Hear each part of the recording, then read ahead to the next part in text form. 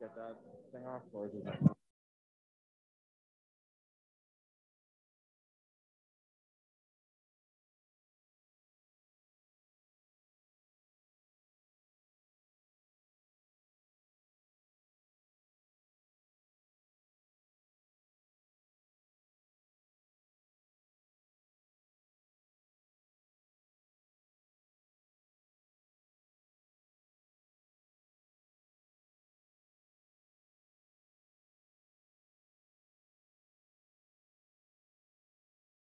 Can you hear us at home? Can you see? Yeah. Yes, good. All right, everyone. So thank you for everything. Congratulations to the students. We're going to say that a lot. Round of applause for the students. And their mentors and everyone else involved. And we'll have plenty of those thank yous. Apologies for starting a few minutes late. The traffic for getting the shuttle over here is there are still currently people stuck in traffic. We're going to get started now, though, for interest of time, and they'll join us as they come in. So when we see people roll in, that's why.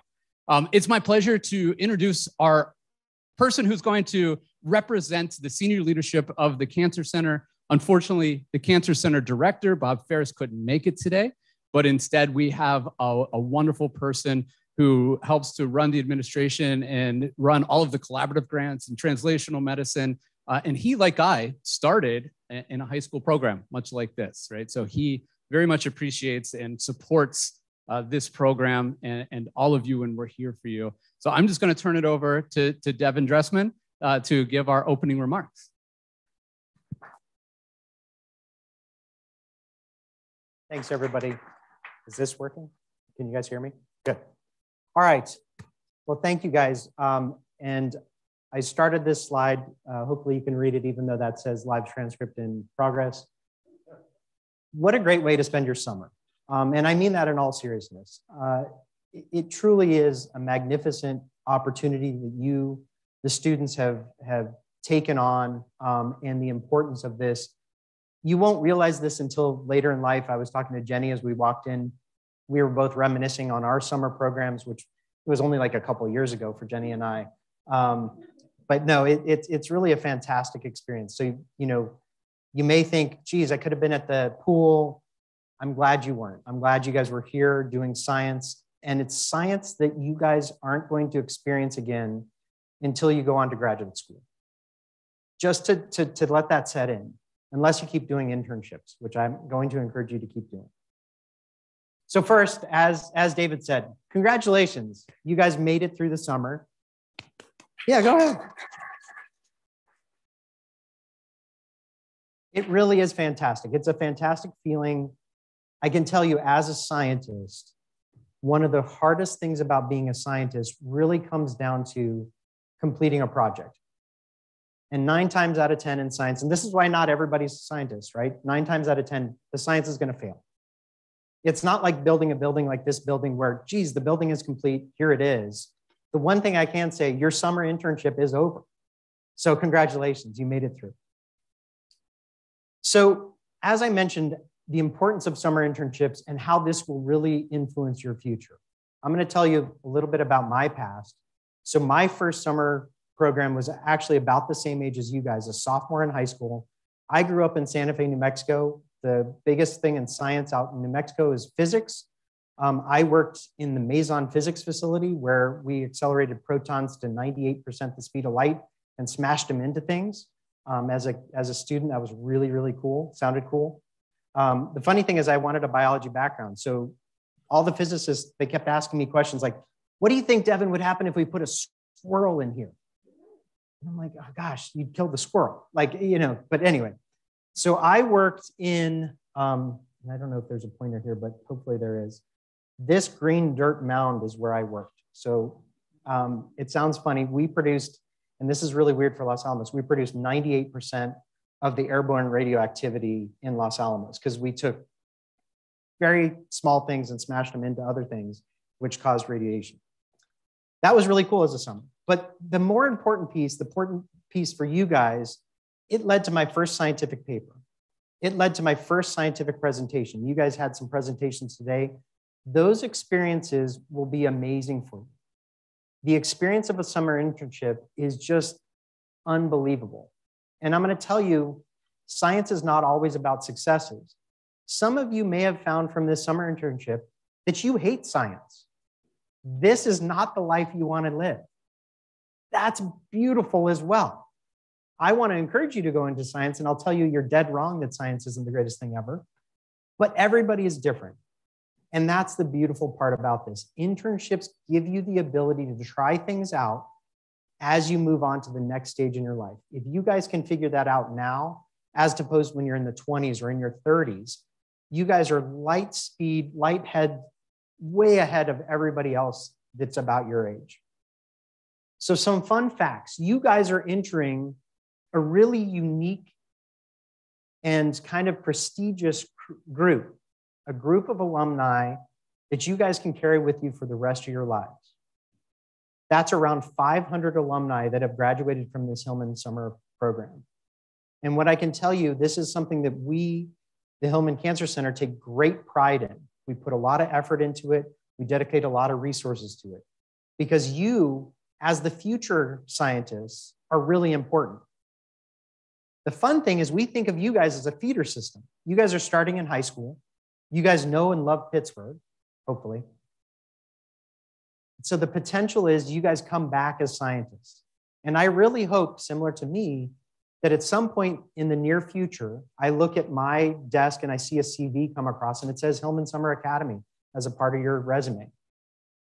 But what would be really cool is when you guys are in a position like mine later in life, you get a, a CV and somebody has that, you now have a relationship. We kind of call that you're a part of a family. So that's really cool. You're a part of a unique family. And what I told you, not everybody's staying in science, but based on our records, we have about 310 of you guys that have stayed in science, which is pretty amazing. 78 or more have started or completed a master's degree. 12 are in uh, doctoral programs with at least two of them completed. 26 are in medical schools with at least one completed. So these things are amazing. And the internship that you guys just experienced will help you understand this going forward. I also want to highlight something that we also take great pride in the diversity of this program. I look across this room and I see great diversity, which is phenomenal. And a credit to David and all of the team that helps put this together, Solomon um, as well, and Stephen. Um, I want to talk to you briefly about the importance of diversity in science, just to kind of plant a seed so that when you guys continue to go on to science, you can think about these things going forward. So, a couple quick reviews in 2015, out of 31 drugs that were approved for cancer, 24 of them had fewer than 5% Black patients represent. In 2018, out of 17 of these approved drugs, only one of them had at least 10%. So, kind of the, the opposite of that. Why does this matter? It really matters. I gave a, a, a simple but, but yet um, good example, and there's many, many more. Um, has increased cardiotoxicity in Black populations because of the genetic differences in that population compared to other populations that typically are more involved in these clinical trials. So just let that sink in. We are creating drugs that may not work across the entire population because we're not looking at the entire population. Adding diversity to our scientists will help drive that diversity in the science that we do. And we truly believe this. This is why we, we want and foster that diversity. In triple negative breast cancer, as another example, among Black and Latino women, they have a much higher predominance of triple negative breast cancer compared to the rest of the populations. In addition, they develop the disease more rapidly and have a higher mortality rate. Why is that? There's some hypotheses out there. Some of you may have even studied this this summer, but that question needs to be answered. It needs to be experienced. It needs to be looked into more that diversity in science needs to continue to occur. I'm a cancer geneticist by training. I love genetics, so I have to end on a genetics example. In a recent study with 70,000 Latino or Hispanic individuals, What they looked at, this is not a cancer example, so I, I have to take my cancer hat off and just say genetics. They identified 42 previously unidentified loci in the human genome that were related to BMI, height, and hip to uh, waist ratio. Just think about that. Looking at a different population, we learn more about the human genetics because of the predominance of different features within different populations. So it's really important to continue to foster and, and grow that diversity in science. And I'm very proud to, again, look across this room, see the diversity, see all of the, all of the wonderful things that you guys have been working on. So really, what cool and diverse science you guys worked on this summer? I mean, I looked at the abstract book. I got a, I got a preview. Um, I got to look at it early. It's phenomenal. The work you guys did, I will highlight this again. You will not touch this type of science the rest of your high school career, the rest of your college career. You will be doing some really cool stuff in those time, but it's not going to be the next level that you guys were experiencing this summer. The only way that you can do that continue internships, continue those all the way through college. I can tell you, I did. I got to karyotype myself as a junior in college. It was kind of cool. But look at all the cancer types you guys looked at breast, ovarian, colon, leukemia, lung, prostate, sarcoma, head and neck. The diversity within the wet and the dry lab projects, looking at new and old school lab techniques, old school like PCR and genotyping, all the way through spatial transcriptomics. These are really kind of cutting edge things. On the dry, on the dry lab side, though, you even have cutting edge technologies looking at computational tools like neural networks, machine learning, artificial intelligence. We, you guys looked at immune system involvement, genetic determinants of cancer, DNA damage, drug combinations, drug metabolism, drug development, viral involvement. Again, Pittsburgh is one of the rare places that has a very strong cancer virology program so we looked at three different cancer types that had some type of viral involvement HPV, COVID, uh, KSHV. Finally, you guys ended with diversity in the diversity you guys are already bringing, looking at sex, race, and social determinants for cancer or cancer immunity. This is really fantastic work. I hope you guys all got a chance to look through what your colleagues did. And I really hope that as you continue to go on, you think back to this time and say, hey, guess what? I remember when I was with Linda. I don't know if there's a Linda in the crowd. Hopefully there is. It's a common name. Uh, and, and gosh, that was really cool what she worked on. Looking her back up, finding out, great, she's still in science. Let's talk. I'm in science. Let's start a collaboration. So I'm going to end with this. Thank you. Thank you to David, Joe, Solomon, and Stephen for organizing this. It really it, the, the amount of work you guys have no idea. It starts tomorrow for next year. All of the mentors, all of the site directors, the, the guest speakers, the guests, all of the people, it wouldn't be what it is without you.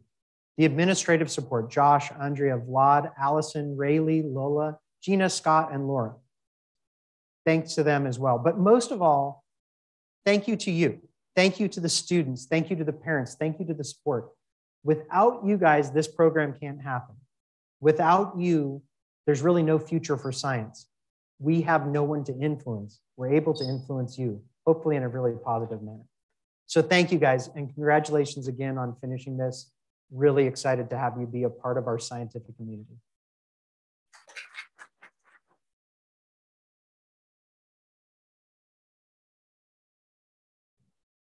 Thank you, Devin. That was great. That was fantastic.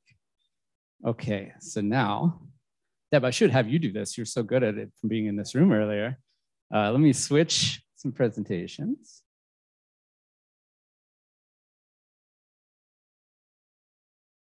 And we'll share again.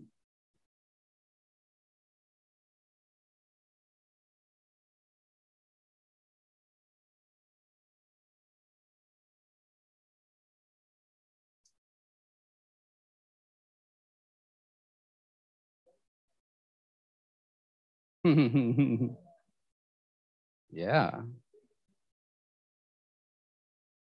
I don't know where the Zoom went. Okay. I might.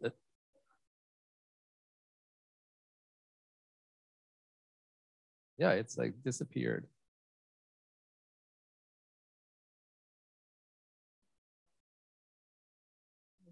Yeah, it won't go on it. There it is. Oh, okay. There we go. Thanks, Deb. See, I knew we should have had you doing this. Okay. There we go. All right. So thank you again, Devin. Really, really appreciate it and the support of the Cancer Center and the Cancer Center leadership. Um, and I want to say again, I want to start. We're going to do this a lot. We're going to uh, applaud a lot of people, but just please, students, give yourselves a round of applause. Parents, give them a round of applause. Mentors, congratulations.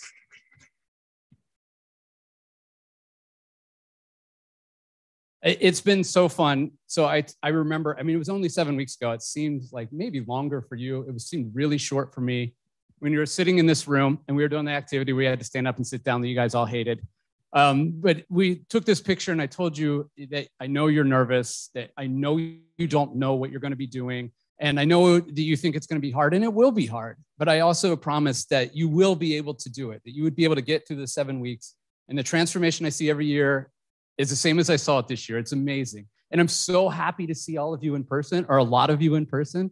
The last couple of years has been a lot harder when I didn't get to see you. So I'm I'm thrilled that you're here. I'm thrilled that families are able to join us and mentors and everyone in this room.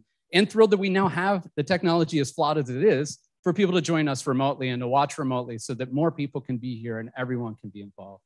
But I knew you would transition. I knew you would be working at microscopes You'd be pipetting in the lab, working with cell culture, probably throwing away more of these tubes than you ever thought existed or pipette tips, right? For those of you in lab, working on machine learning, working coding, doing so many different things. You know, I'm always asked, what will I be doing when I come? And I honestly say, I have no idea, right? Everyone's experience is so different.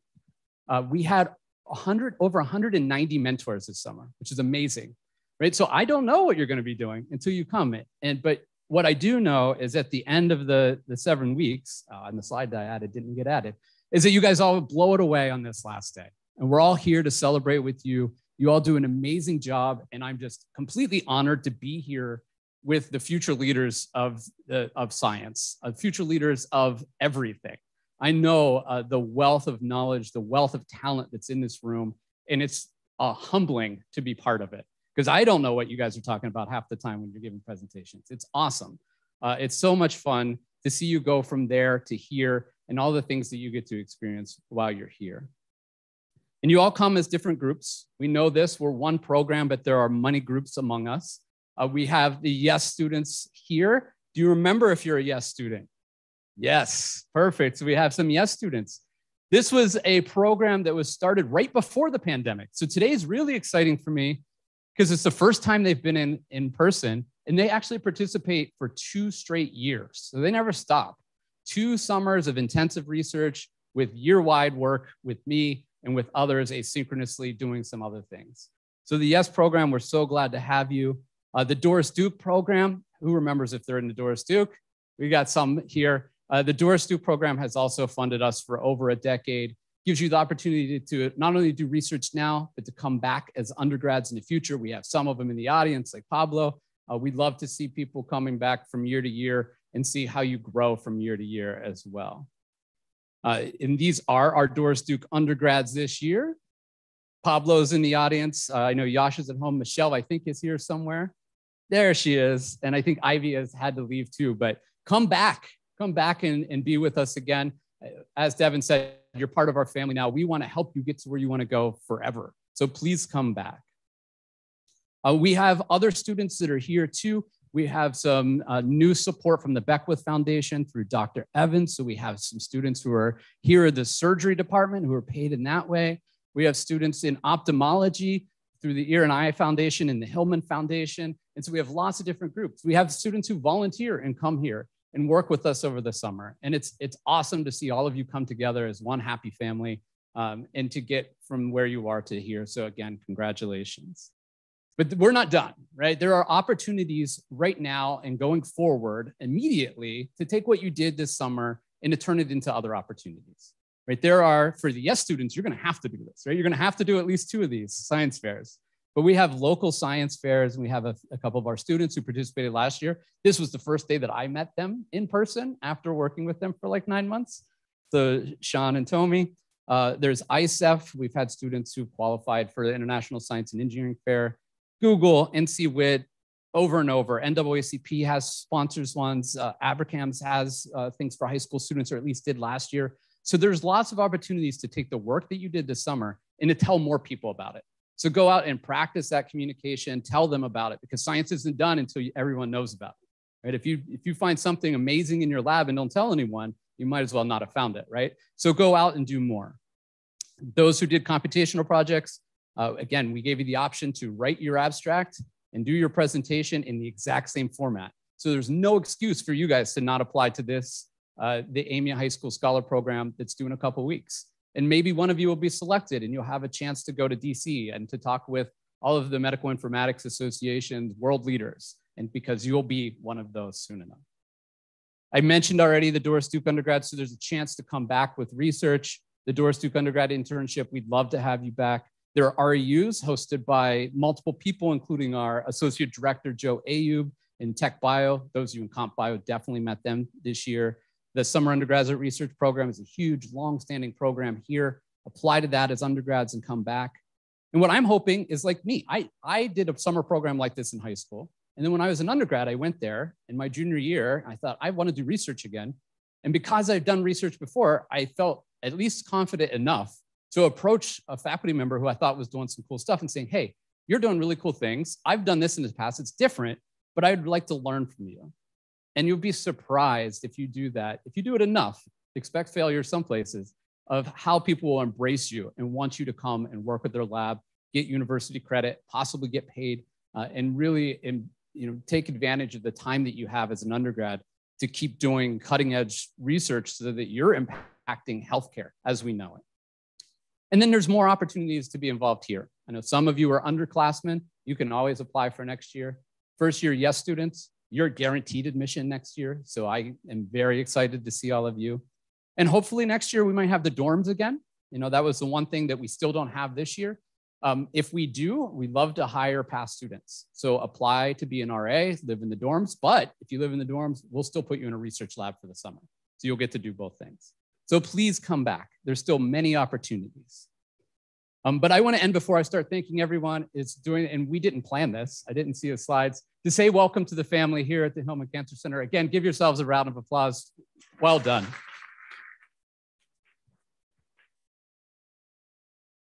And so this is now we're transitioning into the part where I'm going to thank a million people. So we're going to give rounds, lots of rounds of applause to lots of people because this program takes hundreds of people to put on almost every one of them are volunteers in some way. So I owe them so much. Uh, I, am indebted to all of these people that we're going to thank. And that starts at the top with the Cancer Center Director, Dr. Ferris. He's been very, very supportive of this program. Uh, I wish that he could have been here today. He wishes he could have been here today. He sends his well wishes to all of you. But I want to thank uh, Dr. Ferris, the entire office, Dr. Ellis, and all the senior research and admin leadership uh, and Dr. Beckenist, who is the chair of the Education and Training Committee. So not only the leadership of the Cancer Center, but also the leadership of the education that have here. So please let's give them a round of applause.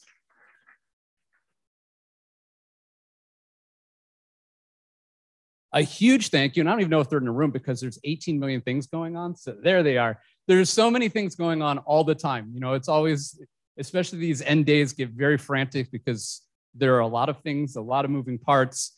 And uh, we could not do this program without these two individuals up there. I'm fortunate that we had two this year. It's the first time ever. We normally had one. I was really scared we weren't going to have any, but we ended up with two. So I got super lucky. So I want to say a thank you to Solomon. Solomon has been part of the program. This is his sixth or seventh summer. I can't even remember. It's been a long time. He and I have been partners running this program. He's seen it grow almost double in size, triple in funding. Uh, he helped to redo the website and the application portals that you've seen. All of you have emailed them over the time. Um, and he will be leaving us here in a couple of weeks. So we're sad about that, but I'd like to thank Solomon. If you would please give Solomon a round of applause. I don't think he's here. He's outside somewhere doing other work. Because uh, again, we had eight sites. We, again, we apologize to those of you coming late with the bus. it's it's hectic sometimes to manage a campus that's spread out over a few miles in a city on a Friday when there's traffic and we never know. Um, but as sad as I am to see Solomon leave, I am just as fortunate to have someone who stepped in and has, is absolutely amazing. I think is absolutely perfect for the job. You don't know this. All of you have definitely talked to him this summer. Stephen started two weeks before you. So Stephen's been part of this program since June 1st, but you would have no idea that's true because of how amazing he is. Right? He's done an absolutely amazing job of just diving into the deep end. There's a million things that need to happen all the time. We embrace our flaws because there's always things that are going to go wrong, and he's bought into that so that we know that things are going to go wrong, but we'll fix them. And he finds a way to fix them. He finds a way to fix them without me. He jumps in. He does everything. He's so personable to work with. It's so fun to get to to get to know him. And I'm looking forward to the next, hopefully, seven or eight years of working with Stephen and see where the program goes next. So let's thank Stephen as well.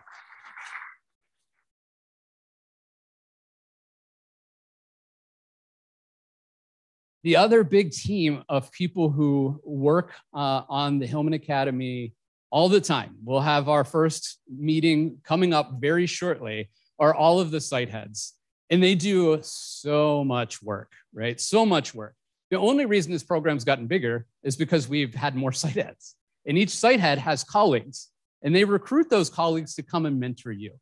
They recruit people to come and give lectures for you. So each of the eight sites, completely different curriculum. Why? Because they do all of that work. The site heads put everything together. They do everything for all of you.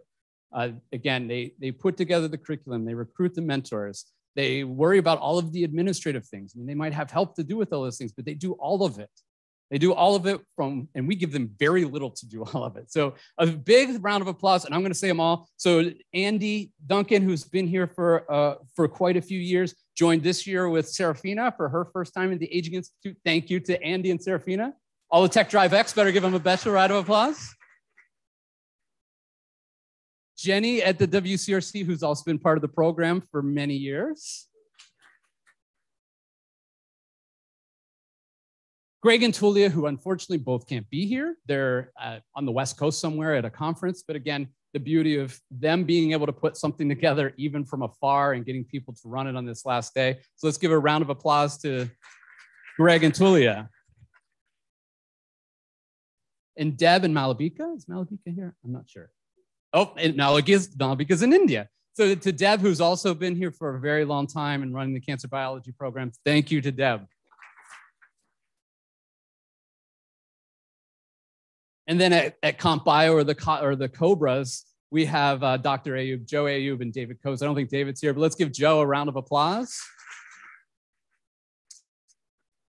And we'll give Joe a second round of applause because he's the associate director of this program. And he and I meet every week to talk about the program and how we can make this program better. We'll start, maybe not next week. We might take a week off, but we talk about this program all the time and try to make it better. You have some surveys to do. I haven't sent them yet. I'm going to send them as soon as we're done. Do the surveys because we'll talk about them so that we know how to make this program better. All right. So thank you, Joe. Another round of applause for Joe. And then we have two new sites that started kind of as a pilot last year. One is ophthalmology. So again, Dr. Chen Yanian came on, and again, this is the first time she's done it in person, but I don't think we got any customer. Everything seemed to go so smoothly. So thank you to Yanian. And our other newish partner, Dr. Evan Steve, who came from surgery, said he called me up. He calls on the phone all the time. It's great. It's one of the few people I actually talk to on the phone. I get to talk to Steve, and he was about the ideas that he had and how we could work together and the things that he's brought for the surgery students. It's been absolutely wonderful. So, Steve, thank you.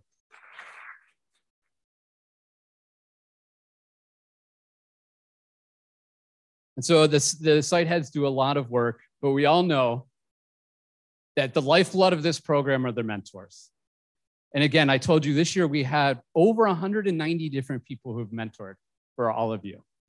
All of these people, 100% of them, are not paid to do this. None of them get any money from the grants. None of them get anything except the joy of working with all of you and get to give back to, again, creating those future leaders or getting to work with the future leaders. So this program is just absolutely impossible without them.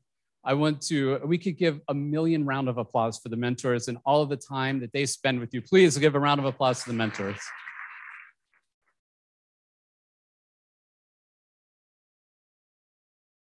And we have eight different curriculums. So that means we have a lot of lecturers, instructors, guests. Here's another gigantic list that I won't read. It's in the abstract books for all of you who have it. But to all of the faculty, the graduate students, the postdocs, the fellows, to everyone who gave a lecture, who came and talked to you about their career path, who told you about any sort of curricular or career development or academic development things, let's please give them a big thank you.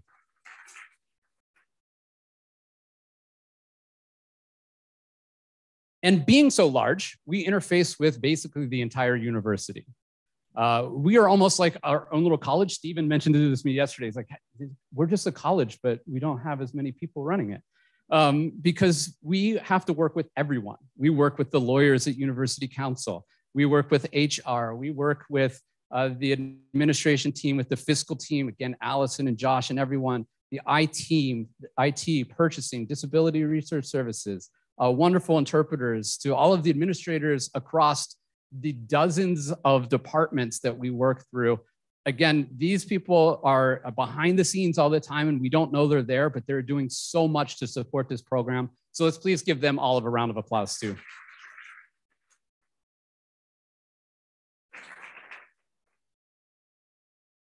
And I'm often asked, how do you find such great students? And I have to tell them again, we will start recruiting very soon for next year, but we don't. I don't find them. What I've done is we, we've been fortunate enough to build relationships with many of these organizations up here, and they find them for us, right? We have amazing teachers in our community who I'm sure many of them recommended this program to you. Uh, community members, we're partners with Pittsburgh Public Schools. There are a couple of teachers there that are amazing. Dr. Waldeck, Dr. K, I don't know if they're here today, I know they were watching things earlier. Kashif Henderson at Pittsburgh Public Schools has been instrumental in helping to recruit. Uh, we partner with FAME. So Dr. Nelson at FAME, who's uh, that's been a wonderful partnership of bringing in amazing students. The Homeless Children Education Funds, Propel, and Powerhouse, Remake Learning that broadcasts, uh, you know, what we do all the time to everyone in the community. The Citizen Science Lab, the Allegheny Intermediate Unit, the STEM Push Network, other programs like the Gene Team here, the Pittsburgh Promise, and even some new partnerships with Gallaudet University. We had two faculty member from Gallaudet who mentored and helped to recruit students this year. Uh, we have amazing community members who promote for us and we work with. Uh, there's a student organization named Biozone who some of you wrote short scripts for. Subscribe to their YouTube channel, always doing cool things that we try to help support. Uh, to community engagement centers in Kirk, and we hope to work with them more the parents, the students, the other Pitt programs, the biology networks. I could go on forever, but I'm just indebted to the community that we live in for connecting me with all of you. So let's say thank you to all of the community.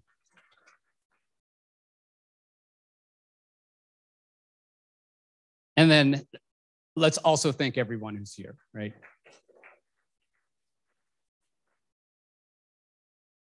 I have a 16 year old too, so I know of how much work it takes to get people to different places or the amount of trust it takes to trust them to ride a city bus an hour each day. Um, so, thank you to all the parents for trusting us enough to send your students here for the summer, for giving us the opportunity. We know that it takes a lot of sacrifice for you to be able to, to do that and to allow them to come and to get them here. So, thank you so much to all the parents, guardians, families, friends who helped with our students get here. Please, a round of applause.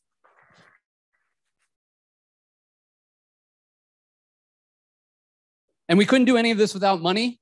Unfortunately, our, our main support comes from the, the NCI. They've been big supporters for a long time and, and fund, oh, probably 75% of our program.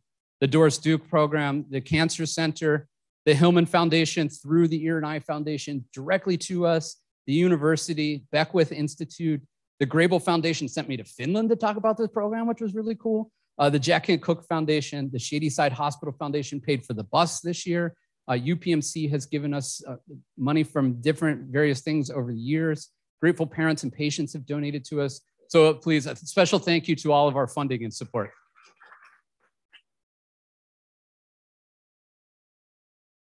And let's not forget the mentors in this, right? So all of them are donating reagents to you. They're donating their time. All of these things are money. Uh, so please, let's thank the mentors another time for the giving of this. Okay, so we're not done. Oh, go ahead. So he's not going to thank himself, but I think we need to give David a, a round of applause.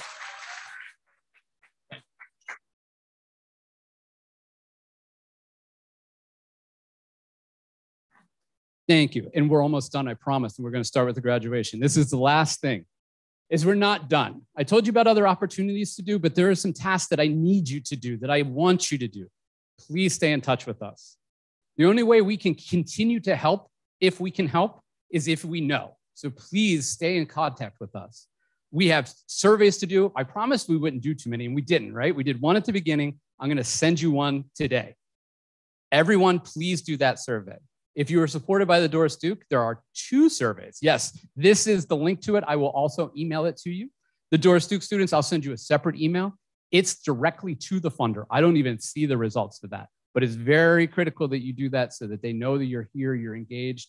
Answer honestly, but please do uh, the surveys. Uh, computational students, that AMY abstract submission is due in like three weeks. Let me know if you need any help with it, but please submit there. Yes, students, be on the lookout. I'm going to be contacting you within the next couple of weeks. We'll set up our September meeting and it'll be on Zoom. Everything will be, most things will be asynchronous. We'll, I'll introduce everything we're going to do in that September call, but be on the email or be on the lookout. And finally, answer our emails. Um, we will only send you very few emails. We're not going to spam you. We'll send at least once every year asking where you are, what you're doing, how can we help? Very basic things. Please respond to that. Uh, and then we might send ones here and there of opportunities that we see that come up and be like, oh, this would be awesome for these students. I'm going to put that out. But that's it. We're not going to spam you for anything else. So when we e when we email you, please respond. The other thing is the Discord server. We started in 2020 almost out of necessity whenever we were all in lockdown. Uh, but now we're just adding to it every year. I don't plan on ever shutting that down. Every new group that comes in will be added right there. So continue to engage on the Discord with each other, with us, uh, you know, it's there for you to create the community, whatever you want, uh, but please keep working on it. And then lastly, spread the word. So I'm so happy that there, there are a lot of siblings here of people who came before. We even have a group of sisters who are here. Uh, we have friends who tell friends about the program, and that's how we grow too. Please tell your friends if you think there's someone who would be great, or your younger siblings, or the, the younger siblings that I see in the room. I hope I see them in 15 years whenever they're, they're coming back.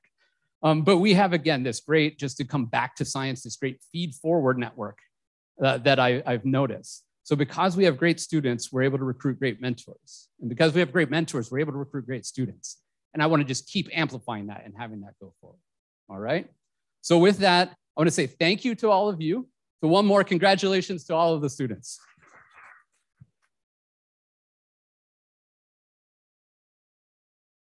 In the next part, I'll just talk a little bit of the logistics of our now graduation ceremony. Each site head is going to talk for just a couple minutes, I promise, probably thanking more people, uh, potentially even talking about their mentors and what mentorship's been meant to them and how that's got to where they are today. Because we hope, again, you know, our mission is to give you a real research experience and give you a mentorship. So we're hoping we're starting with that mentorship. Uh, but we're going to have each site head will talk. As soon as they talk, they're going to read the names of the of their site I ask that once they're finished talking, everyone from that site to come down. We have certificates that we'll give you, and then we'll take pictures at the end of the entire group for each one of the eight sites. Okay? We, I know I have a student who needs to go to work who's already like an hour late. So we're going to do the surgery first, and then we'll do tech drive second, I promise. So, Steve, do you want to come up?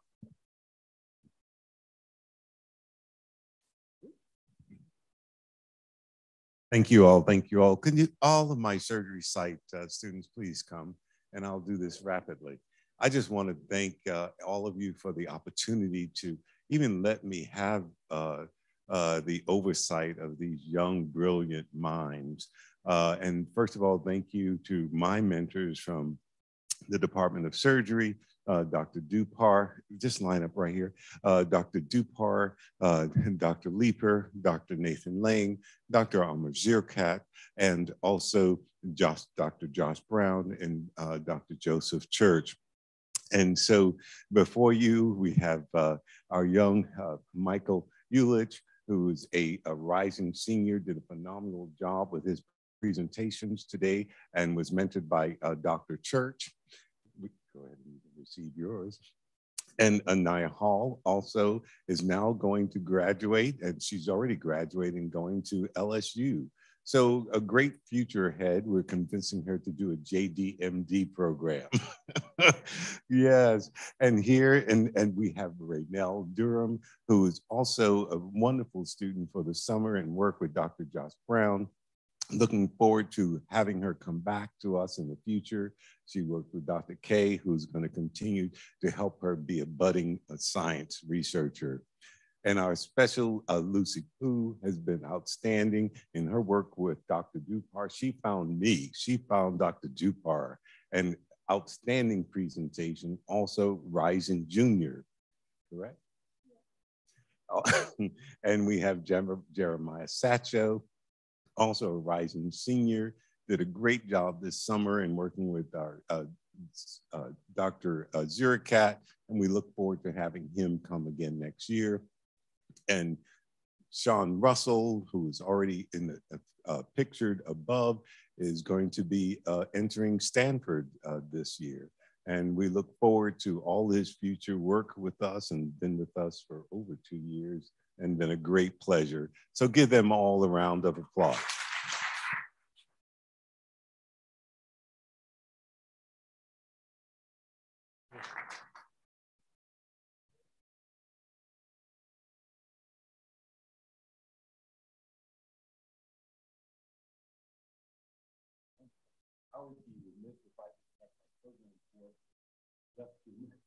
Justin Whiteman come up he, like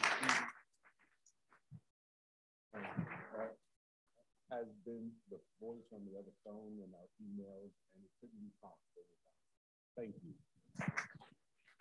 Thank you. Congratulations. Next, we'll have Tech Drive X.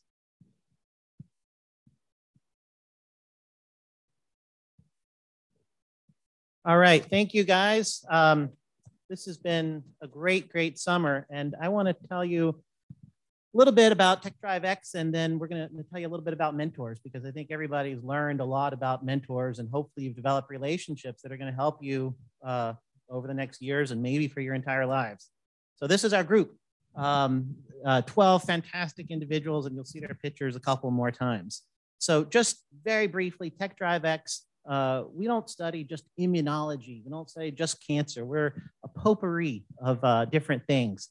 Uh, we, you know, our research ranges from aging and bioengineering down to pathology uh, and liver research. Lots of different stuff. And the idea is let's figure out basic mechanisms and maybe we can translate that into some some outcomes, uh, whether that's cancer or, or other uh, conditions.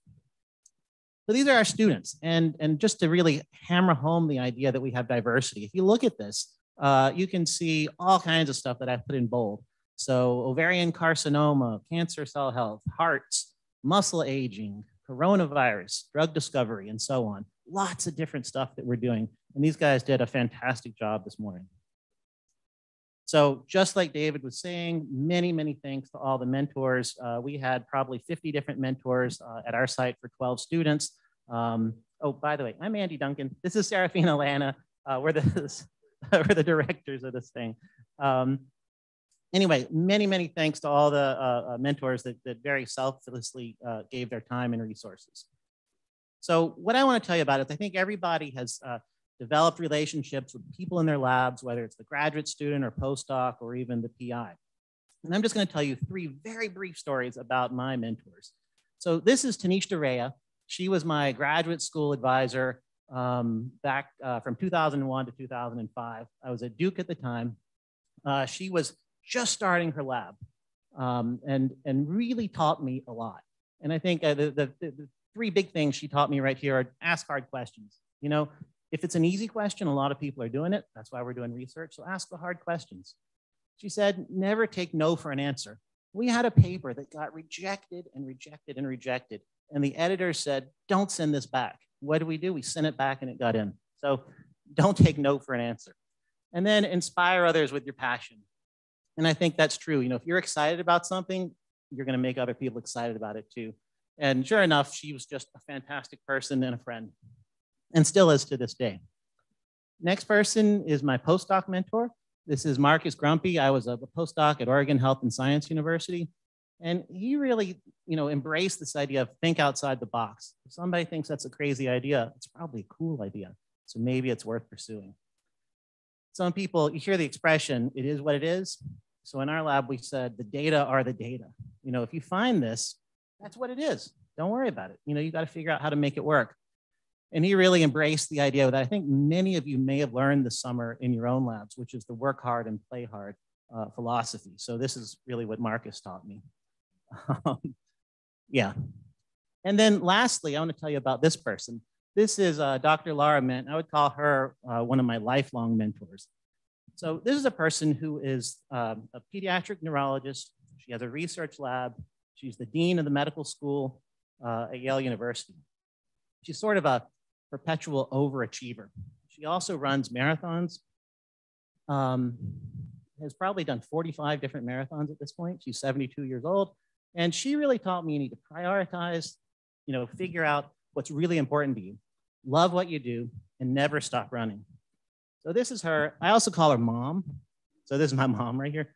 Um, and I think that she's really taught me a lot just about being a scientist and kind of pushing through all these different things.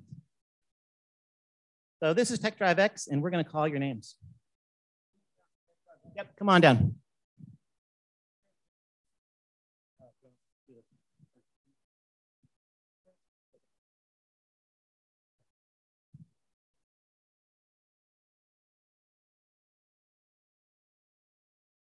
We had a couple of them who didn't show up. Who were left?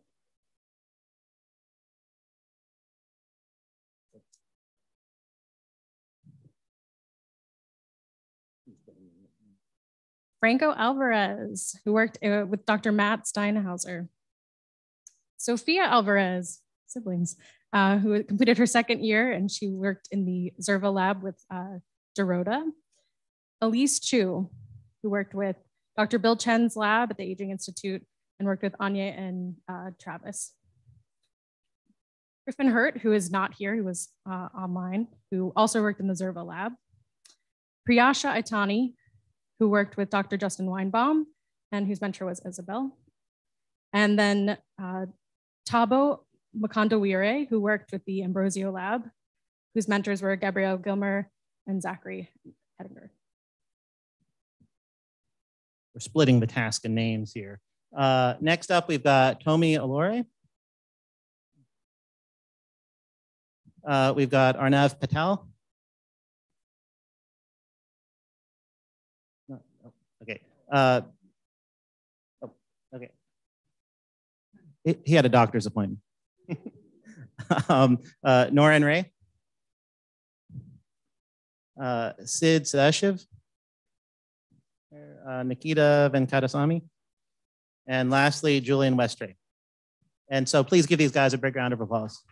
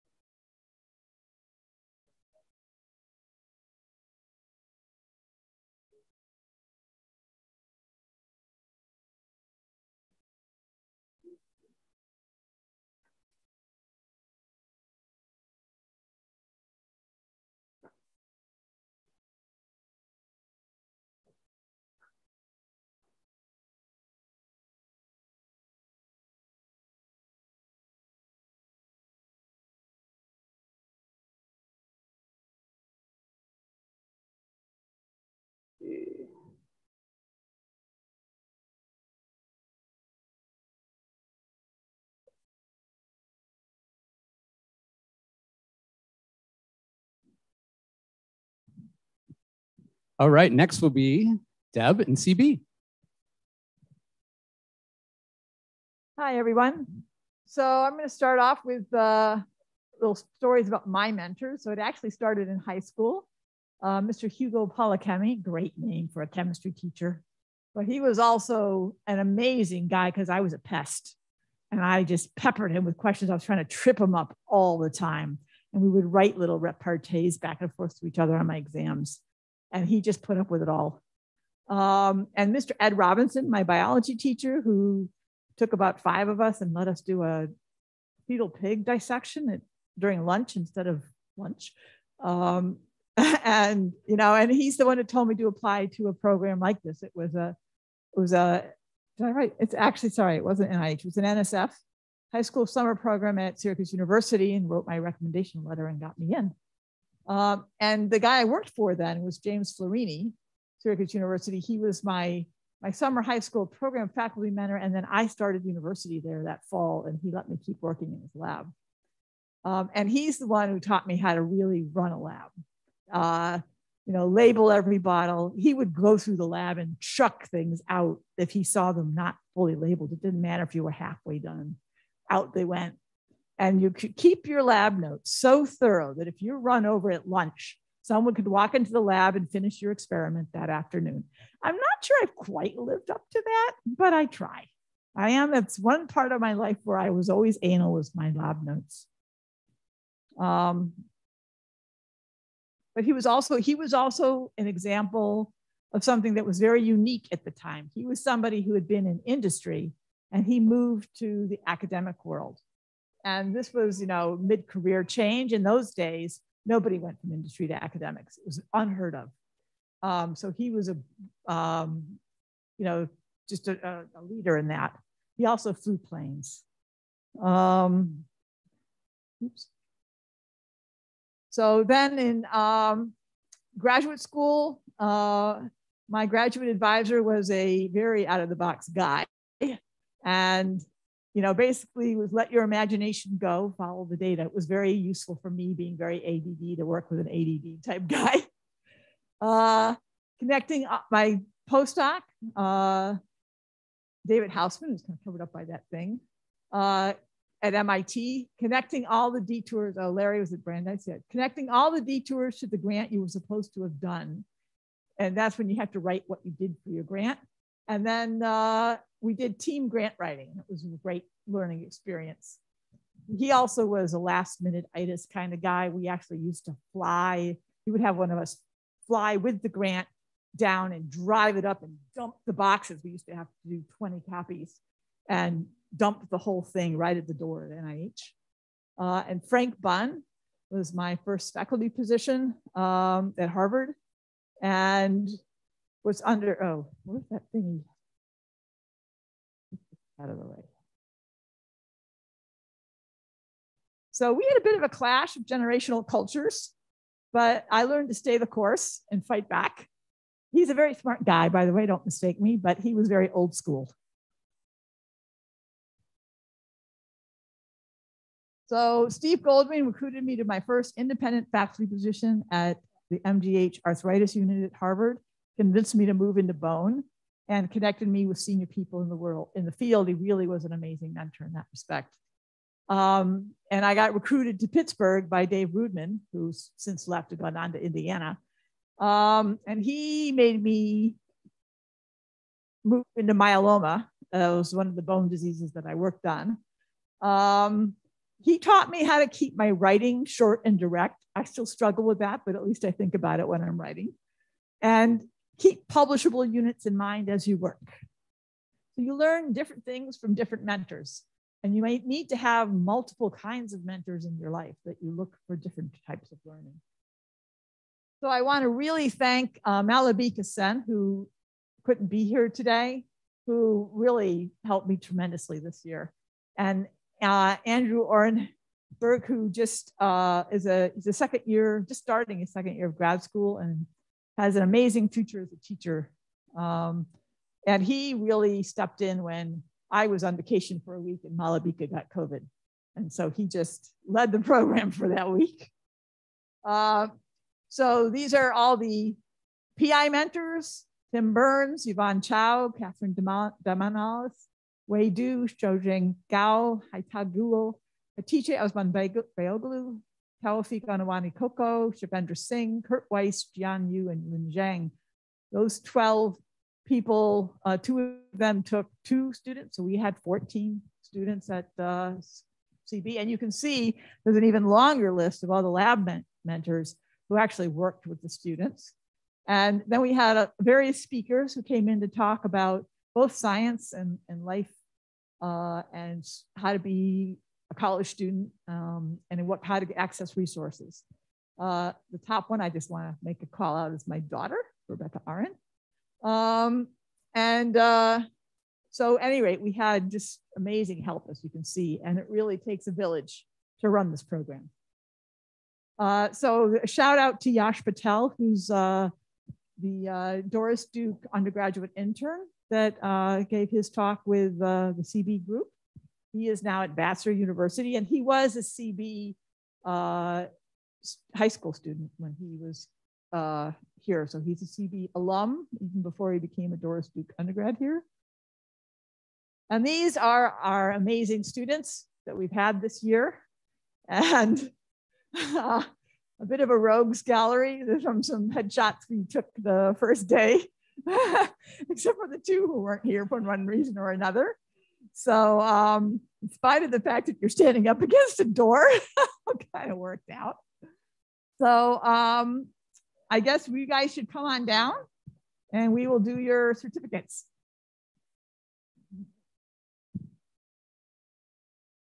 So these have been a truly amazing group. They've been friendly, supportive of each other, um, very participatory in our lab meetings.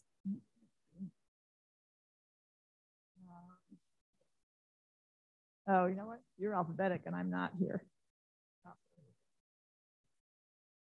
Oh, it's even worse. No, it doesn't matter because this is an alphabet. I'm not going to worry about it. They've already heard the mentors and all that. Enough. We'll just do their names. All right, that's fine. We're going to go reverse. That's fine. Yeah. So da Daniel Wang.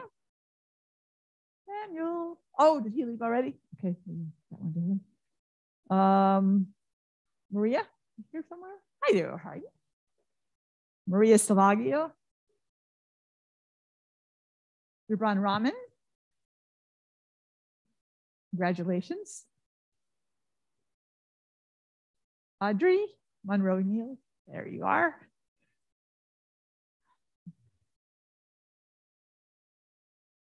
Ethan Minzer, there you are. Lovey. McGross. There we go. Hi. Kate Maldia. There you go. Sea of people. Anthony Calvi here somewhere. Really, all of you deserve huge congratulations. Daniel Guo, there you are. Nancy Chen, there you Jason. Jason Chen. Hillary Boizo. Ahmed Ali Nag Ali Al Nagash. There you go. Where are you hiding? There you are. Hey, and Donovan Allen, thank you for the way. All right, so I just want to have everybody clap one more time for these amazing students. They worked really hard. Uh,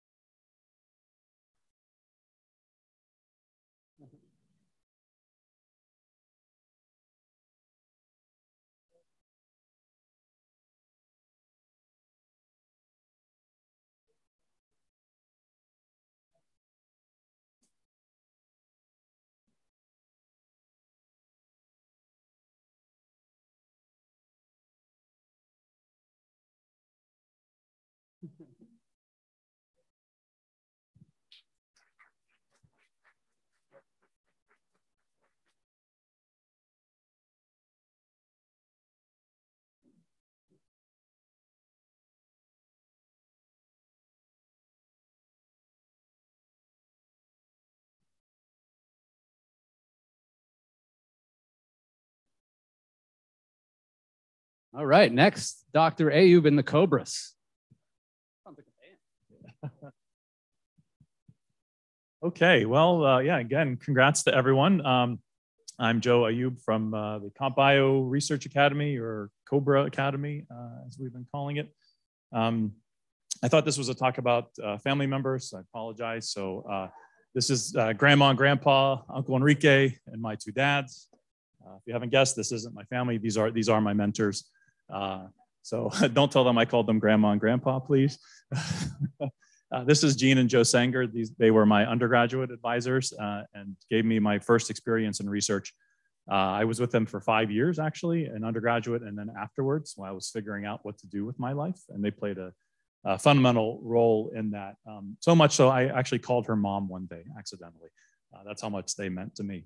Um, they still do. Uh, Uncle Enrique was somebody I met uh, in that position, actually, too. And he was a postdoctoral fellow.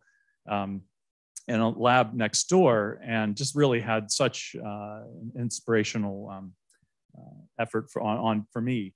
And I remember telling him, you know, I can't go to grad school. I don't know how to do this. I can't write a million dollar grant, all this stuff. And he said, you know what? You're right. You can't. I think I told you this story at the beginning too. Uh, but they're going to teach you how to do that. You know, I think that was the same. And I hope you all experience something like that this summer too. And you realize that, yes, you're, you're going into something, it's a little bit daunting, but uh, with a good support network, with good mentors around you, too, uh, you can accomplish those things. Uh, and then my two scientific dads, uh, Alex Kolotkin uh, and uh, John Minden, were my graduate advisor and my, my PhD advisor. And again, the Sangers sort of introduced me. Enrique encouraged me, and they really equipped me with the skills that I needed to be successful in science. Um, and I think all of them, though, together too, demonstrated to me the importance of mentoring. Um, you know, as a first generation high school student, you know, I didn't really know what I was getting into uh, in, in college, even in high school and in college. I wish I had a high school program like this to take part in, uh, but it wasn't, if it wasn't for them, I wouldn't be here today for sure. And, um, you know, because of all the hard work and dedication and just selflessness too, that they, they showed me, um, that's become something that's been super important for me uh, in my career. And um, you know, it's uh, for those at our site, they know that we make our undergraduates get involved in mentoring, and I would encourage you all too uh, to become mentors and to get involved in mentoring. Yes, you're you're sort of on the receiving end of it all now, but there's also you have other ways to give now, and you will uh, even more so moving forward. So I would encourage you all uh, to think about that and, and keep that in your perspective. Uh, I'm selfish when it comes to mentors. I want a lot. Uh, and I've had so many other people too that, that have helped me along the way. I love mentors so much that I've created two, too, or at least helped to create two. Those are my kids. Uh, and they've taught me things just on a whole nother plane as well. Um, and just so many other uh, people that, you know, I'm grateful for that have, you know, taken the time uh, for me. And I, um, I uh, try to keep that in mind and keep in touch with them and uh, remind them just the impact that they've had on me. And again, I would encourage you all to do that for your mentors too. So, uh, so some thank yous. Uh, Adam Kohlhaas and David Koes, uh, who are part of Team Cobra. Uh, David and I uh, run the program together, and Adam and I, he does all the coordination for it. They're an invaluable resource for me. We, we do this as a team together, uh, and they've been just supremely helpful. just so many other people. Dr. Ivet Bahar, who's our department chair, who just allows us to, to do this too and gives me the freedom to, to do a lot of these different efforts. Uh, so I always uh, thank her for her continued support. Uh, the rest of our computational systems biology department staff and faculty who, um, again, just uh, behind do so many things behind the scenes to, to help the program run. Uh, our, our REU students for the summer who uh, we make them serve on committees because I want to share the pain of committee work with them at an early age. but they have a mentoring committee and they work with our high school students and I'm always indebted to them for, for the help that they do and even in their busy summers as well. Uh, so I'd like to thank them also. Uh, of course, our, our COBRA mentors, um, you know, they, uh, they're the lifeblood of the program. We can't do the program without having these selfless mentors, as, as David has reminded us uh, many times, and they should be thanked uh, that many times too for all of their great work. Uh, yeah, and then of course, biggest thank you to our COBRA scholars, the, the Pythons as they were nicknamed this summer think, by the undergraduates. So um, I'd like to have them come down now. I'm going to read their names as they're coming down. So I'd love to hear a, first a big round of applause for them as they come down. So come on down, guys. Orion, I see you sitting there. Let's go. Yeah. So come on down. I was we were actually talking about having entrance music for our talks this morning, and maybe next year I think that's what we're going to do for this is we'll have everybody uh, have their own uh, entrance music. But uh, Fatima, Orion, Toby, Neil, Sophia, and Ananya that were with us in person, uh, and then Maria, uh, Yvonne, Max, and, and, Akiva who are online. you guys just did a phenomenal job this summer, and congratulations once again. So, thank you.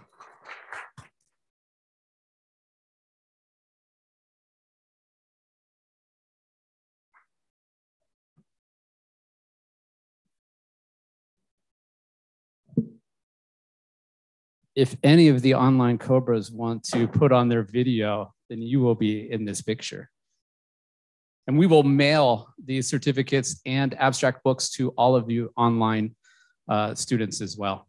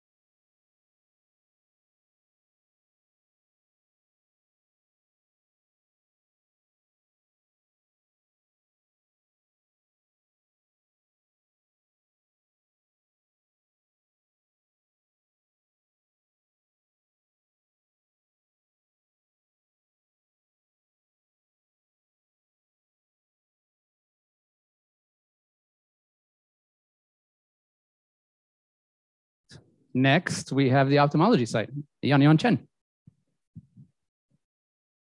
So congratulations for the ophthalmology site uh, scholars.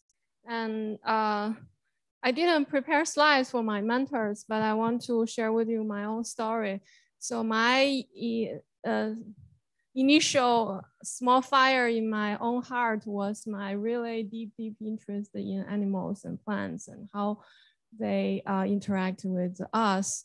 So I was grown up basically every weekend uh, spending on the zoo. And my, my initial dream job was becoming a zookeeper until one day Jane Goodall, that famous uh, observer for chimpanzees, visited my high school, which really thrilled me when I was sit like six foot away from her and uh, to look at this real person, so calm and sharing her life stories uh, and her interactions with chimp.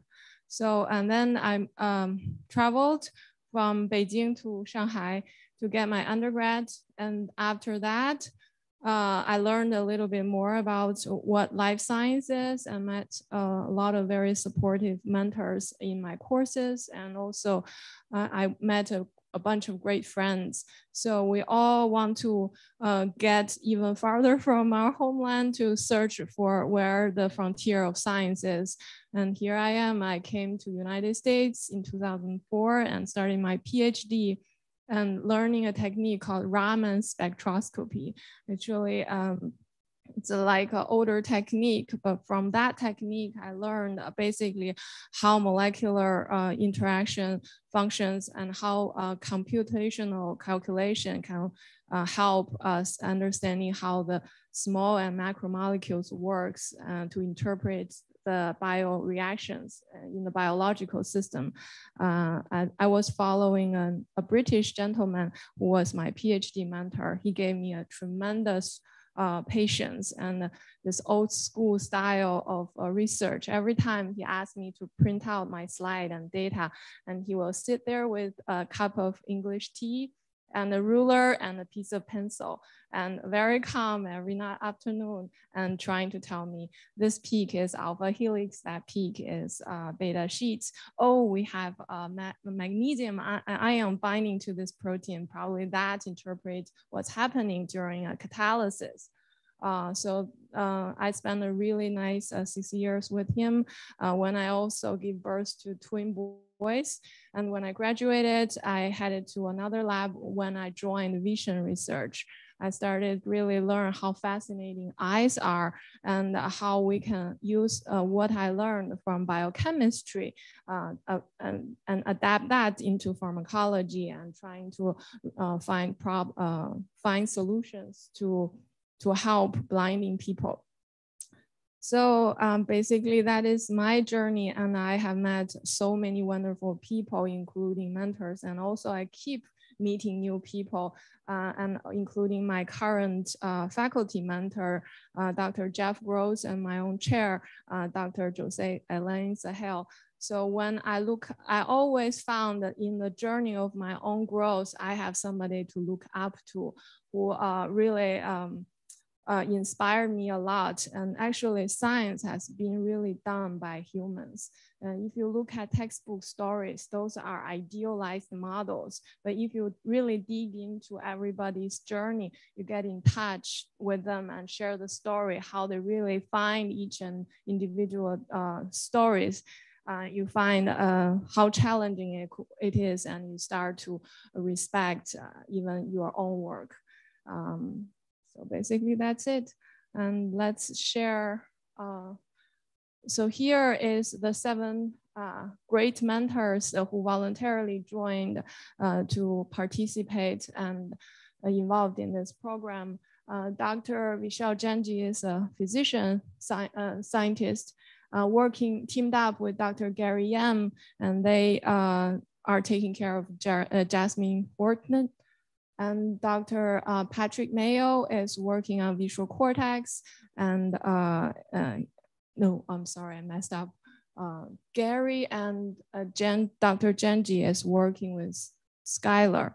And Patrick Mayo is working with uh, Jasmine Horton. And they are working on some very cool stuff of a video game when uh, somebody is working on video game, how your eye is moving and where it is focused during this uh, uh, highly interactive um, procedure. And Dr. Xiaohua Pi is a new uh, PI in our department and he's uh, taking care of uh, Marcus Jones and they are working on some very cool 3D printing project by setting up very uh, frontier cutting edge OCT imaging equipment.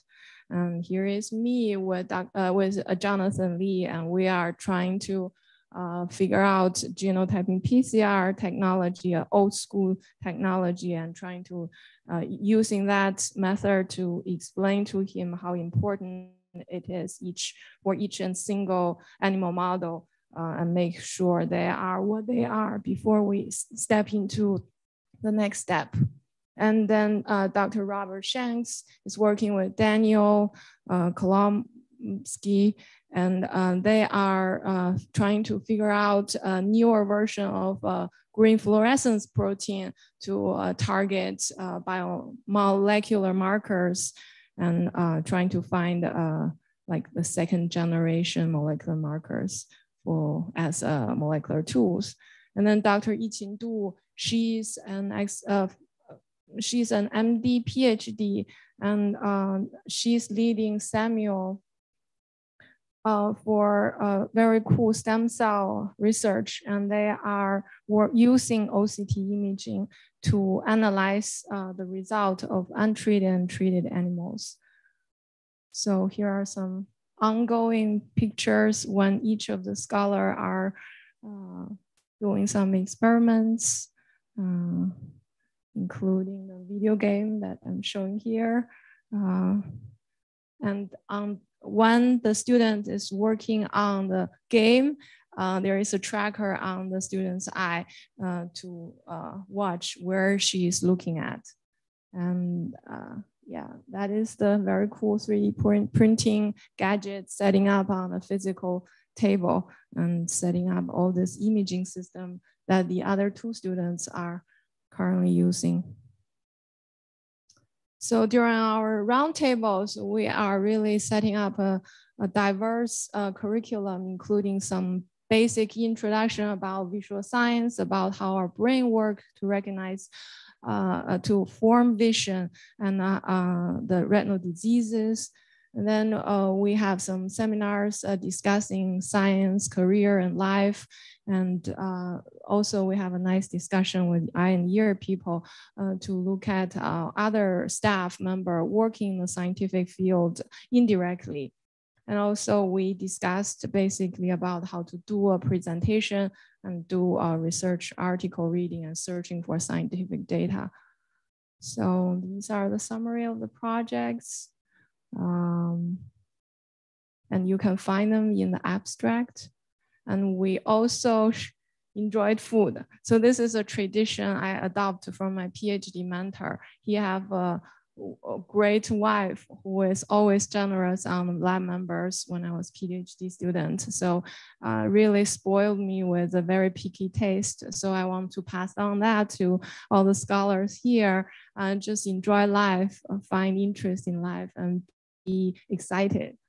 Um, we also want to thank our chair who uh, is really uh, supportive to our program and uh, the foundation, the year Eye and Ear Foundation people who has gave us a lot of administrative support. And uh, also a lot of people in the department are also helping in the background, including postdocs and professors giving guest lectures and uh, medical doctors giving uh, lectures. And we had a picnic and had some fun with frisbees. And, and that's it. And congratulations. And all the eye people come.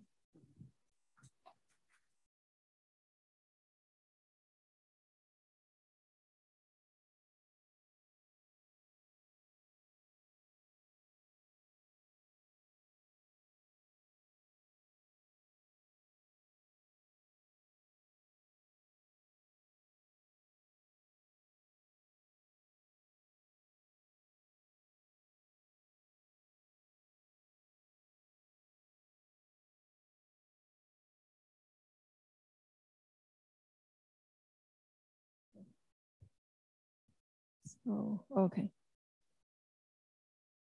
Should I? Samuel Wilson. Congratulations. Skylar Spears. Congratulations. Jonathan Lee. Congratulations. Daniel Komlossi. Congratulations. Marcus Jones. Congratulations. Jasmine Horton. Congratulations. And thank you for your participation.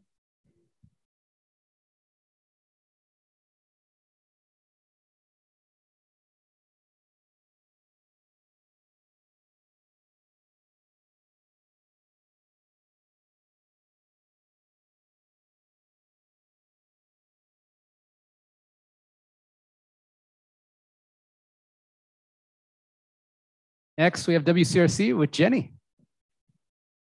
Thank you. I'm going to follow the previous couple of folks and tell you a little bit about my background and some of the mentoring in my career briefly, then a few fast thank yous, and uh, we'll wrap up the WCRC site. So um, I first started um, in a high school program, just like you guys. Mine was at the Babraham Institute in Cambridge, in England. You can probably still tell from my accent I'm from England. I've been in the US 15 years, but I'm told people can still tell that I'm not native. So that's okay. When I go home, I'm told I speak like an American. So we'll see. Um, but this is where I had my high school um, research experience. you can see it's a really beautiful building. The secret is inside it's really old, nothing like the labs that we're in here today, but it inspired me to continue uh, working in science and really uh, encourage my love of science. Uh, I did my graduate studies at the University of Bradford in England. And some of the key things I learned from my mentors here, um, as well as obviously the science that I was learning, I worked in cancer research. I learned a lot about biology and drug development. I learned a, a key thing that all scientists have to learn, and you have to learn this early, and that is perseverance. Experiments are going to fail, hypotheses are going to be wrong. You've got to stick with it. You've got to ask the next question. You've got to figure out how you can move forward. I also learned people management, which sounds like a bit of a strange thing to highlight. Um, but these are my three advisors, and you can. This was my graduation day. We have really cool robes at Bradford University, um, and we're all smiling in this picture. We look like we all get on really well and that we're a really solid team. That wasn't really the reality for most of my graduate school career. So um, my three mentors didn't see eye to eye on many things. Um, and so I would have to get uh, sort of develop skills to enable me to um, convince them that an idea was good that didn't come from the other PI. And maybe I, I was the one that had thought of this, or they did like the idea, but they didn't, but maybe the third guy would agree. So it was um, an, an, interesting training, put it that way. So it fueled my passion for science. I loved cancer research, but I had to learn to deal with personalities that maybe didn't naturally work well together. And that's like an important life skill for anywhere you work. So that was definitely something from my graduate school career. Um, it was after graduate school that I moved to the US and I moved to St. Jude Children's Research Hospital. And many of you will have heard of St. Jude Children's Research Hospital from the TV adverts, from getting asked to donate a dollar, from the um, big advertisements you do, uh, you see on the billboards. Um, actually, in England, we'd never heard of St. Jude Children's Research Hospital. They approached me at a conference and was said, "Oh, we're recruiting for postdocs, and uh, Elvis is from Memphis, Tennessee, and you should probably come and visit us." I actually now have a dog called Elvis. This is part of the reason. Um, but St. Jude, as you know, is doing really phenomenal research, and they have really phenomenal resources. And so actually my boss, Richard Gilbertson, who's um, the guy in glasses on this middle picture, he's actually also a Brit. So maybe that made the transition easier. Um, we worked on a type of um, childhood brain tumor called ependymoma.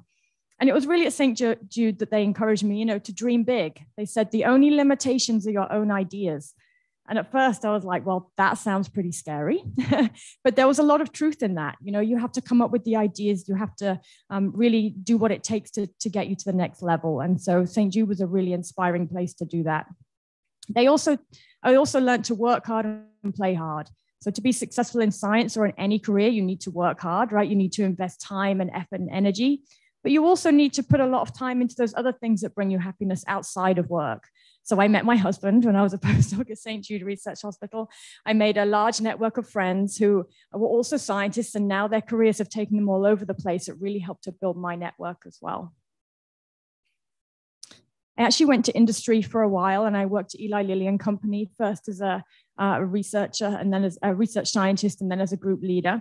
Uh, and this is Anya Stauber. She was uh, the director of toxicology at the time. Um, and she taught me, I, I transitioned from cancer biology into toxicology. And she kind of said to me that, you know, you're not a toxicologist, but all of your skills that you've learned doing cancer biology, uh, you, you need those in toxicology. You just need to look from a different angle. Um, and so she really helped me to see my transferable skills, how to have confidence in your knowledge, even if it's not directly relevant, or you can't immediately see how directly relevant your skills might be to a new question. Um, so she taught me to be flexible and have confidence in that knowledge, and that you can be a valuable team member when you're not the expert at the table.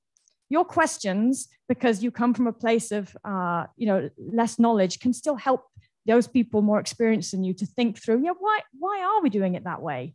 A lot of the time, we're doing it that way because we always did it that way, and it takes someone new at the table to start questioning those things, and so that's super valuable. And then finally, now here at University of Pittsburgh, I work with Adrian Lee and Steffi Oesterreich. Uh, and they've really just, they kind of exemplify for me that you need to do something you're passionate about. Work will always be a large part of your life. And so if you're not enjoying what you're, what you're working on and what you're doing, then you need to find, you know, a new direction. So um, they are super passionate about breast cancer research. I think all of our breast cancer group here are, um, but they really exemplify that for me. And they listen to their mentees, which of course is always super important. Uh, one key thing that I should put on this slide is that Steffi in particular has really taught me the importance of the ability to, to um, delegate. And I say this because actually some of the students can attest to this in, our, in the WCRC program. I haven't spent a lot of time with them this summer. I feel a bit guilty about that as the course director, but I delegated a lot of our lectures, a lot of our classes, a lot of the work to other people in my uh, in my group. I found great people, uh, I found great trainees, postdocs, students that wanted to teach lectures. They wanted teaching experience. They wanted to have um, the opportunity to mentor high schoolers, and so I recruited them to do a lot of the work. So I did a lot behind the scenes, setting the schedule, uh, making sure we got the opportunities for our students. But I actually only taught one class myself um, and then some, some sessions this week to prepare for the presentation. So that's a key thing to learn how to do. So I know time is tight, and I, ran through a lot of these thank yous this morning. So I'm not going to go through everyone's name, but these are the uh, principal investigators at WCRC site um, who hosted students this year, their trainees who mentored the, high, high the academy students, um, and then other folks that um, uh, taught classes um, and mentored as well. And again, thank you to all of those folks. Uh, of course, oh, Okay, this might be an old version of my slides. Thank you to the trainees. There was supposed to be a big picture of them here. That's my bad. I've dropped the wrong version. Um, and again, you know, thank you obviously to Dave and um, the whole team that makes all of this possible. So I think the WCRC students could come down and we can get you your certificates.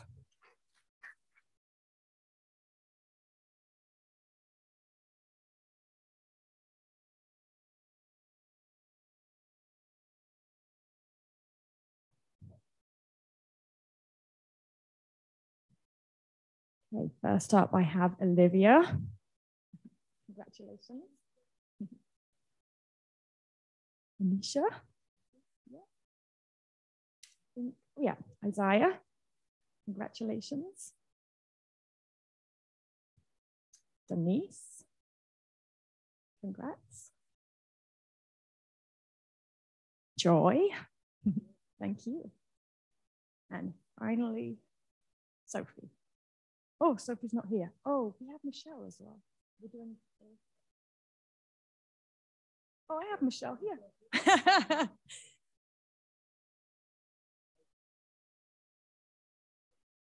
Sorry, I didn't realize that either. There you are. I was trying to hand you Sophie's, and I'm like, wait, you're not Sophie. That was awesome. Well, I think a quick round of applause.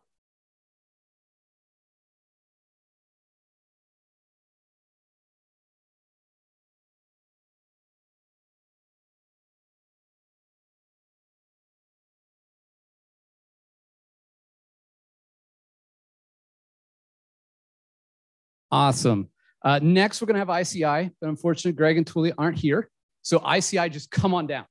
We're just going to do it right now. I know I will fail. They did record something, and I'll put it on Discord so you can all see it later, but it won't work if I try to do it right now, for sure.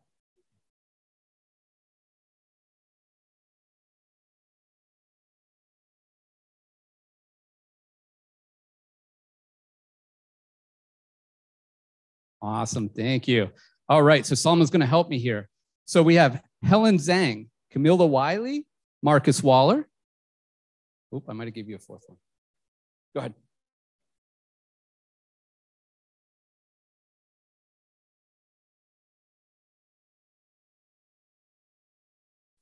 Jenna Trent, John V. Sharmy, uh, Leah Omer.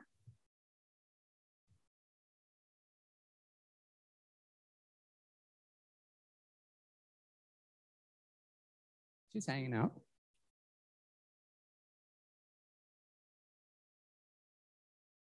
Ilian, who is on the screen, honorary Cosby for coming to all the Cosby events this year. Uh, Grace and Sui.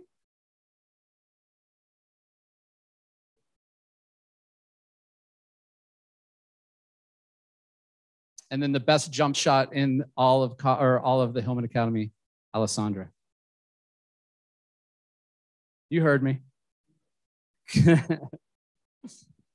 Congratulations.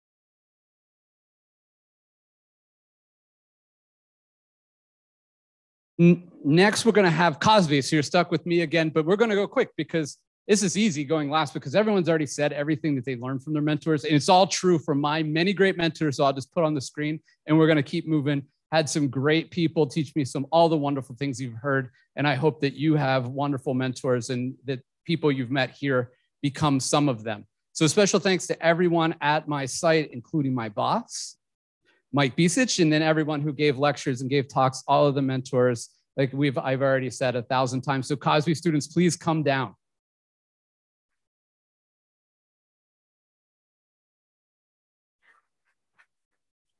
Oh, Jonathan's online. Oh yeah, that's perfect. Yeah. Okay, so uh, let me stop sharing because there are some online students. So Rachel Saka, if she's still on, not sure. Uh, Jonathan Sherrill. Oh, there's some popping up. Olatoba Ojo. And then we have some people in person. Anissa Odin.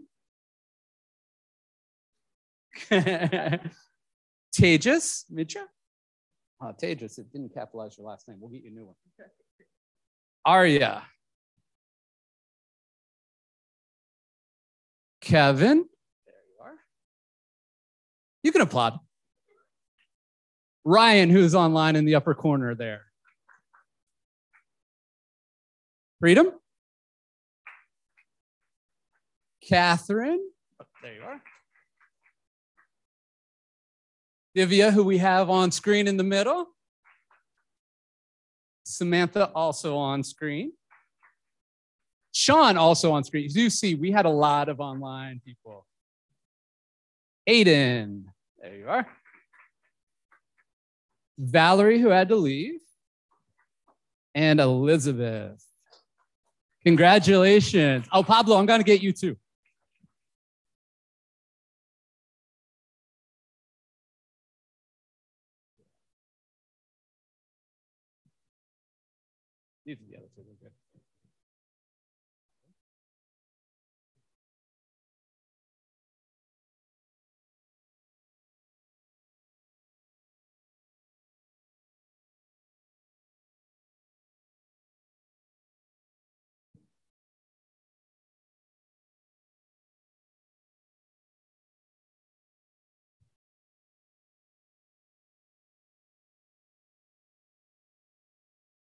All right, congratulations.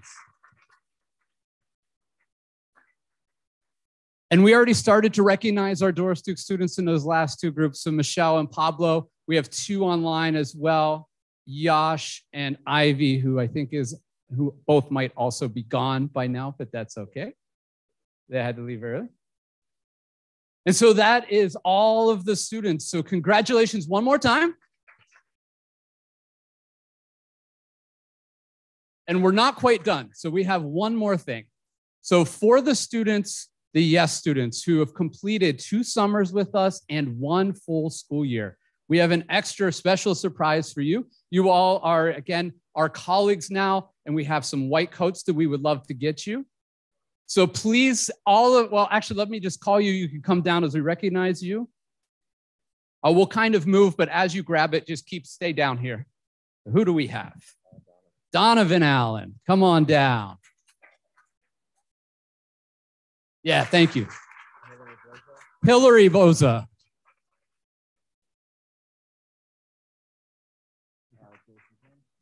Who's this one? Jason Chen. That's Hillary's. That's Hillary's.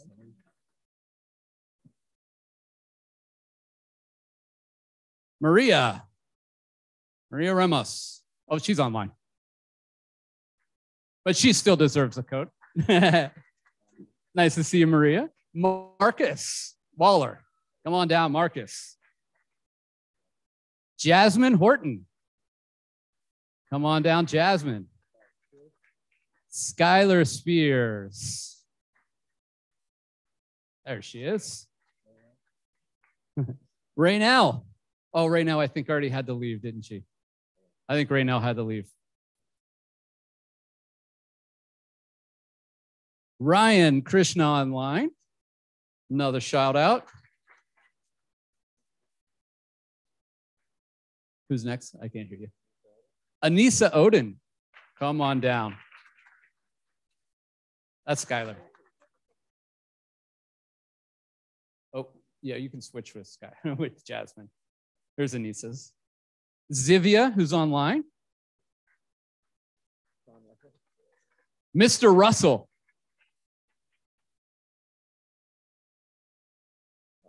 Sophia Alvarez.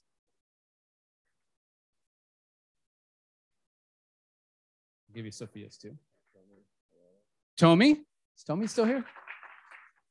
There she is. Here, Tommy. Olatoba, who's online. I saw him pop up there a second ago. Rachel, who's online as well. And is that Julian? And Julian Westray already left, I think. All right, congratulations. Let's get a picture of you in your white coats. Oh, one more, sorry. Denise. Oh man, can't believe I almost forgot you, Denise. Isaiah Hooks. I saw him here. Did he have to leave too? I don't see him. And then Anissa Roberts.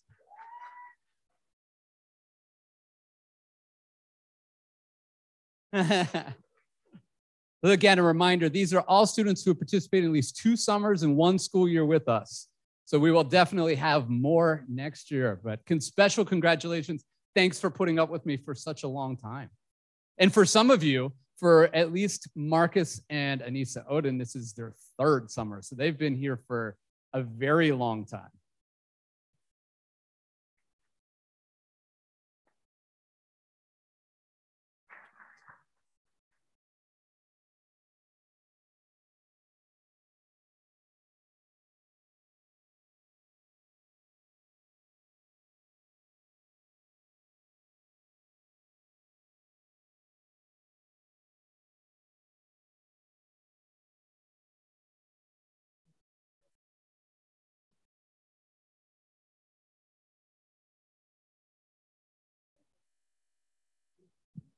All right, congratulations.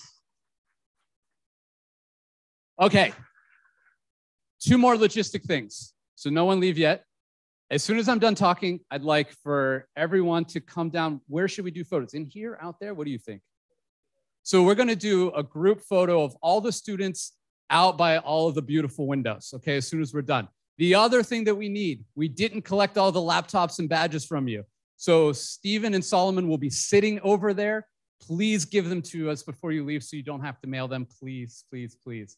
But that's the end. Thank you so much. It's been an amazing summer. Thanks, families, for coming. Thank you, students. Great job.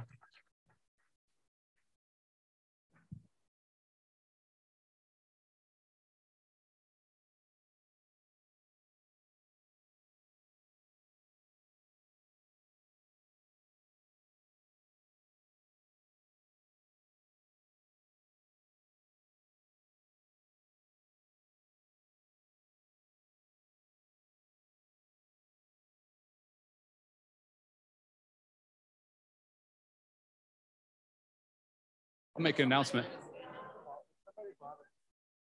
If anyone happened to find a set of keys, please let us know. A little black pouch on them.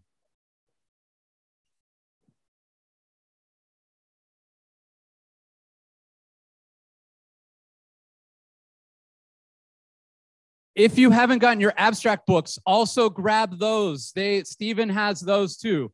So we will get your computers, we will take your badges. We will give you an abstract book. And please take one more picture. And thank you, everyone online. We are finished. Thanks, Josh. Thanks, Marcus. You guys were awesome.